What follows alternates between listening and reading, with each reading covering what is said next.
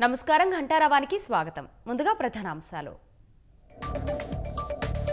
భారత్ బంద్ ప్రశాంతం. వ్యవసాయ చట్టం రద్దుకు రైతుల డిమాండ్.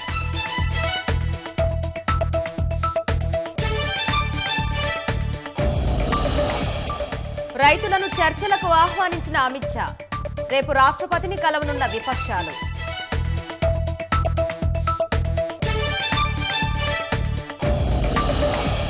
కేంద్రానికి ప్రజాస్వామ్య స్ఫూర్తి లేదన్న కేటీఆర్.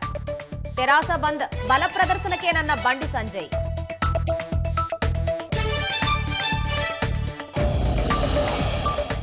ధరణిలో ఆస్తుల నమోదుపై పది వరకు స్టే పొడిగింపు.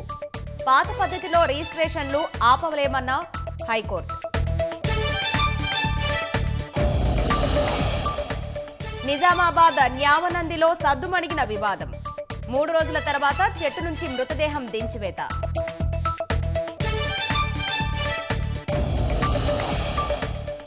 కోవాక్సిన్ వినియోగానికి భారత్ బయోటెక్ దరఖాస్తు.